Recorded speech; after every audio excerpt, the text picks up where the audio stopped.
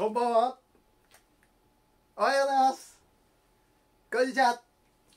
甘栗旬です。はい、というわけでね、今日もね、早速やっていくんですけども、えー、今日は寸劇をやりたいと思います。えー、題名は、心配しすぎる患者さんと、えー、心配しなさすぎるお医者さんのコント。どうぞ。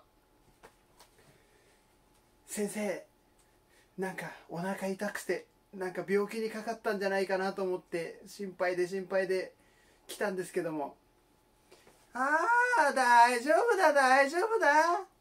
先生そうですかね。なんか朝からずっとお腹痛くてもうはち切れそうなくらい痛くてどうしたらいいんでしょうか先生。大丈夫だ大丈夫大丈夫。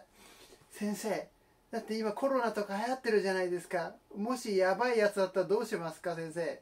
大丈夫大丈夫。考えすぎだって。でも先生先生なんかお腹すごいパンパンで痛いんですよ。あ大丈夫大丈夫。ただの食べ過ぎだって。本当ですかね先生。なんかもしかしてがんとかそういうやつとかじゃないんですかね。すごく痛くて。大丈夫大丈夫大丈夫。ただの食べ過ぎだって。早くトイレ行ってこいっつって。2分後。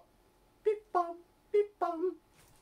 先生どうやらただの腹痛だったようです。大丈夫だ言ったべ。あんたあのよく言うでしょ。病は気からって。なあ笑ってればそのうち治るさ。ははははは。大丈夫だ。終わりです。